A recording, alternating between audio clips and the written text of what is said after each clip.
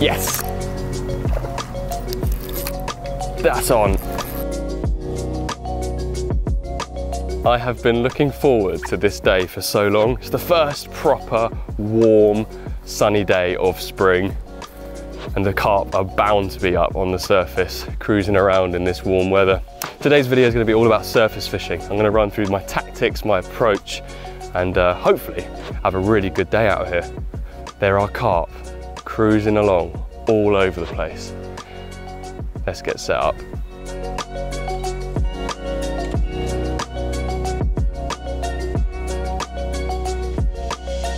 There's actually one or two fish cruising around in the reeds in front of us. And what this means is I don't need to put a float on the line or any weight. I don't need to cast very far at all.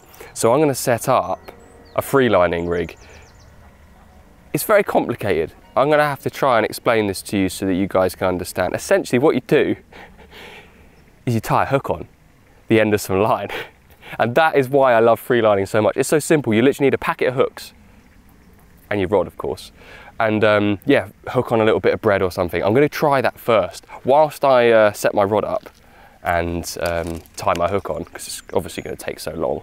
Uh, I'm going to just put some bait in. I want to see if they react, like how they react to the food.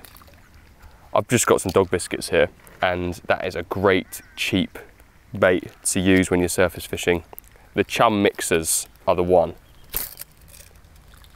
They float for ages and perfect size and easy, easy to catapult. Are they gonna start feeding? That's the question. I'll give them a minute, I'll get my rod set up and, uh, and then we'll try and catch one.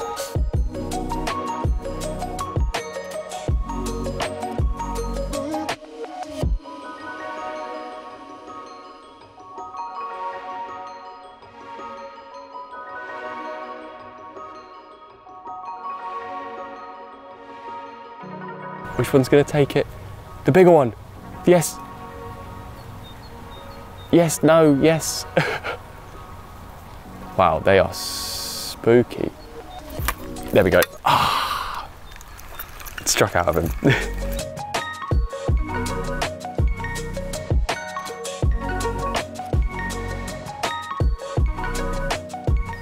Here we go, here we go. Yeah, that's a good one as well.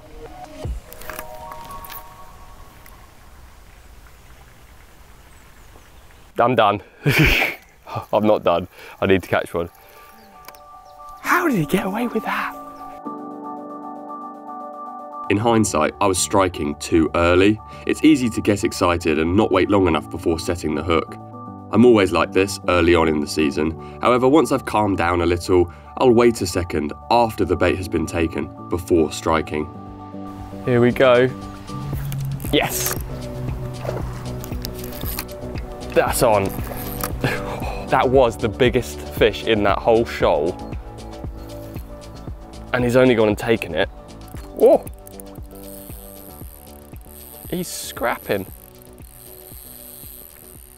This one's woken up. There was loads of two pounders down there, teeny little things. So I was quite excited when this one uh, came into the swim.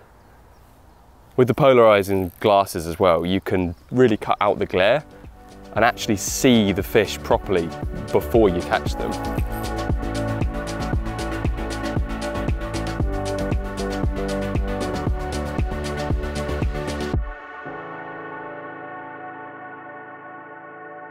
There we have it, first bite of the day.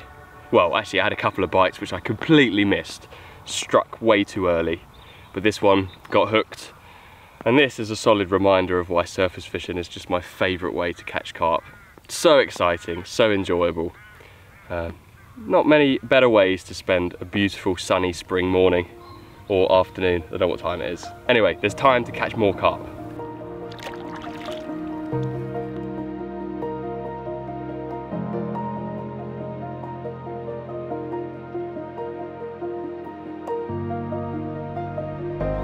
After I caught that fish from the reeds just in front of me, it definitely seemed to scare off the others. The shoal just kind of stopped taking and I started to see more fish moving along that far margin.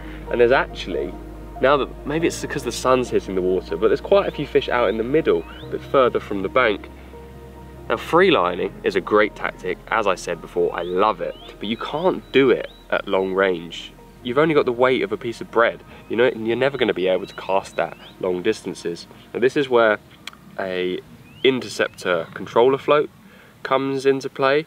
This gives you the weight to cast further into the lake, but also creates some resistance. So the fish takes the bait, it starts swimming off, pulls the hook link tight, and you seem to hook the fish like quite often without even having to strike. Sometimes I'll have the float out in the lake and uh, I'll be laying the rod on the ground, catapulting out some more bait and it will erupt, the fish will be hooked. So using a float like this not only helps you hook fish at long range when you can't see your hook bait, but also helps you get the weight to cast that sort of distance. So I've set up a very simple surface fishing rig. My hook bait is a pop-up. I've trimmed that down to be a little bit smaller so it looks kind of similar to a dog biscuit. Uh, sometimes you can actually use a white pop-up and that will get you a quicker bite but most of the time, especially if the fish are quite spooky, uh, a trimmed down brown pop-up that looks like your dog biscuits is a really really good hook bait. You need to trim it down a little and balance it in the margins so that it sits quite low in the water.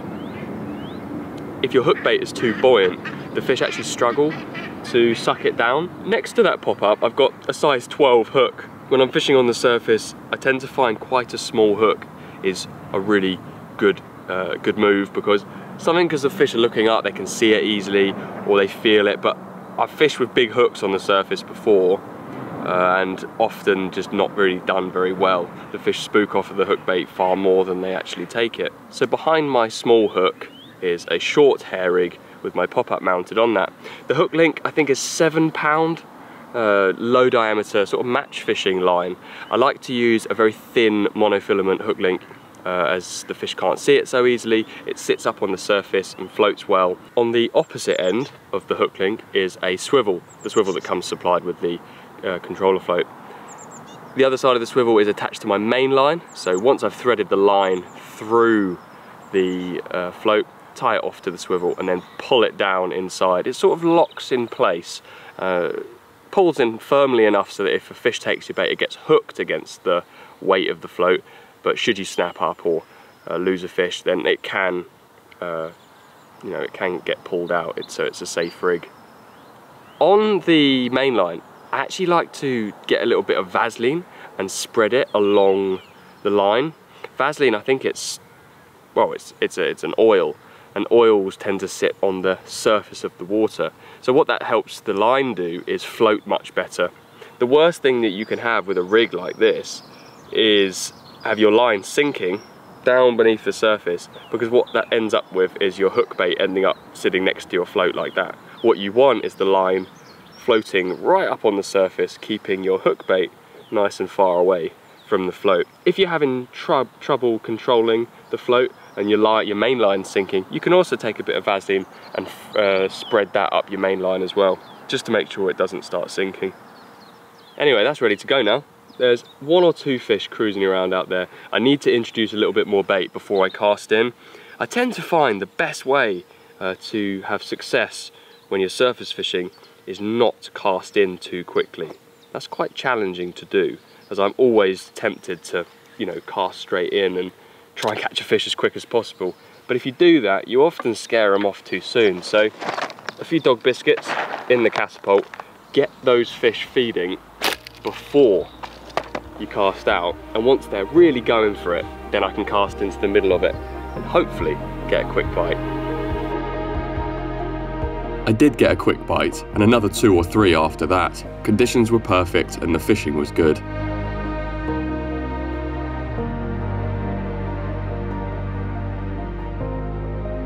Thankfully today we've not really got very much wind. However, on a more breezy day, you can sometimes get that little ripple on the surface, which makes it very hard to see your float or your bait.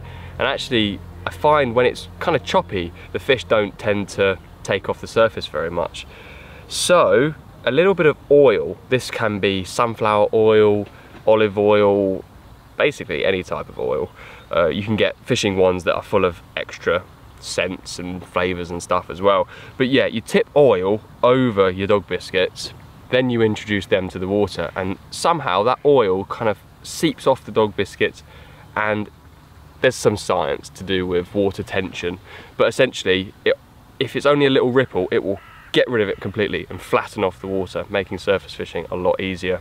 Now one thing about introducing dog biscuits into the water is that today I've thrown some down here, I've catapulted some out there, uh, and that works fine. However, if you need to go at longer ranges, past catapult distance, then you've got to use a Spomb. Just take your normal spod rod, uh, or even your fishing rod, tie a Spomb on the end, and you can deposit dog biscuits as far out into the lake as you can cast.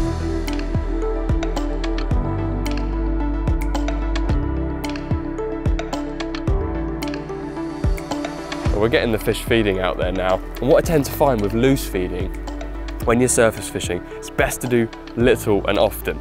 So rather than chucking in loads and loads of uh, bait, which could just get caught in the wind and draw the fish elsewhere, it's best to trickle it in. This is because the fish are slowly eating that bait, and if you're only putting a little bit in it at a time, they don't get a chance to follow this massive clump of bait off to another part, part of the lake. That's particularly important when you've got other people fishing. You know, you're on somewhere busy like we are today, there's loads of people fishing up there. If I put in handful after handful of mixers and they get caught in the wind, they're just going to take the fish up to another part of the lake. That can annoy other anglers uh, and it can annoy you because all your fish have gone. Um, so it's best little bit at a time. And also, on some places, like where we are today, I think the noise of the mixers hitting the surface is drawing more fish up into the area. They are feeding quite confidently out there now. I find the trick with casting out your controller float is don't cast on top of where the fish are. Cast further than the fish. And then you can really, really slowly reel that float towards where the fish are.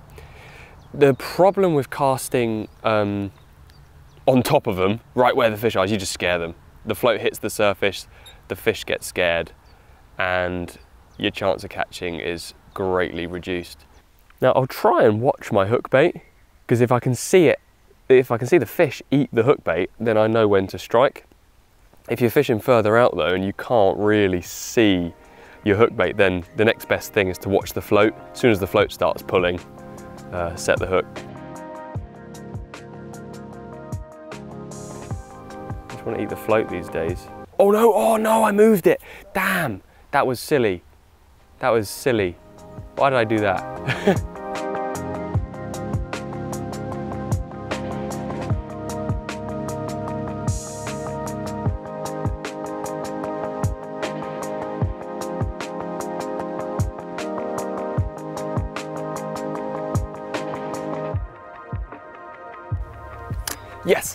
there we go. Oh, float just dragged along the surface and there's a fish on. Whoa.